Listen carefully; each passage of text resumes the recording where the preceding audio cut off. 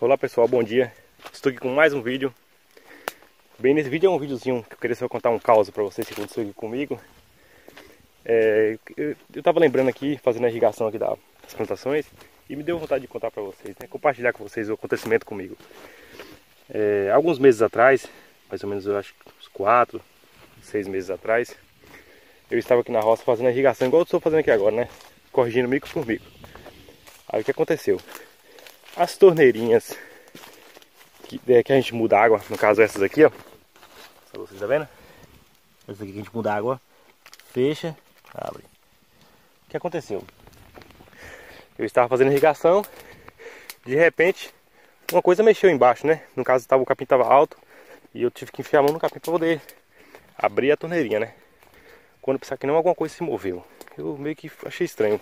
Peguei um pedacinho de pau e futuquei. Quando eu, futu... Quando eu futuquei, era uma, uma jararaca. Uma cobra pequena, um filhote de jararaca. Acho que dava o quê? uns 30 centímetros mais ou menos. Aí ela foi sumiu. Eu deixei quieto, continuei na minha, minha vida aqui, meu percurso.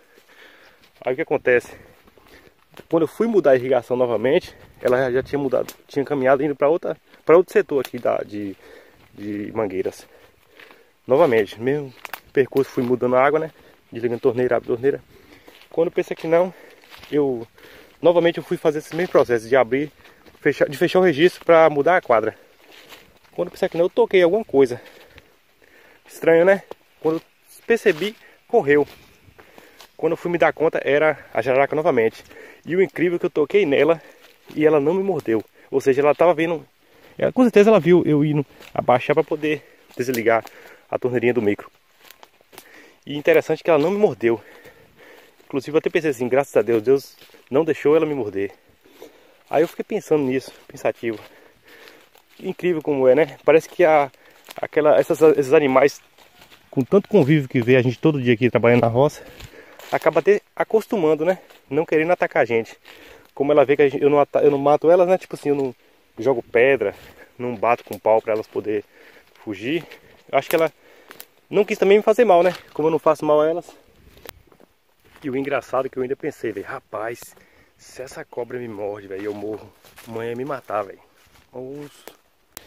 É, aí que se compartilha essa historinha com vocês, pessoal. Historinha rápida. Se aconteceu alguma coisa parecida com vocês, deixe no comentário aí alguma coisa desse tipo.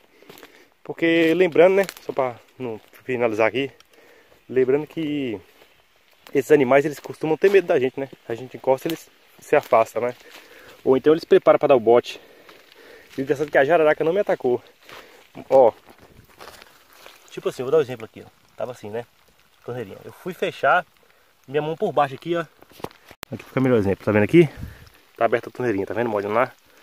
Na hora que eu fui fechar aqui, ó, meu dedo por baixo aqui, ó. Pode ver minha mão por baixo, tocou nela aqui embaixo. E aqui tava um capim mais ou menos assim, de uns 40 centímetros. Eu toquei numa coisa assim, mole, achei estranho. Aí ela correu assim na minha mão, eu vi ela correndo assim.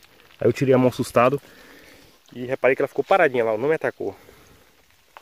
Incrível, né? Como ela poderia ter me atacado, me ferido gravemente, mas deixou quieto, né? Duas vezes seguida, no mesmo dia. Aí eu achei muito estranho. Parece que até que ela me conheceu e não queria fazer mal a mim. Pois é, pessoal, achei a história interessante para compartilhar com vocês. Deixe nos comentários se aconteceu algo parecido com vocês. Muito obrigado e valeu.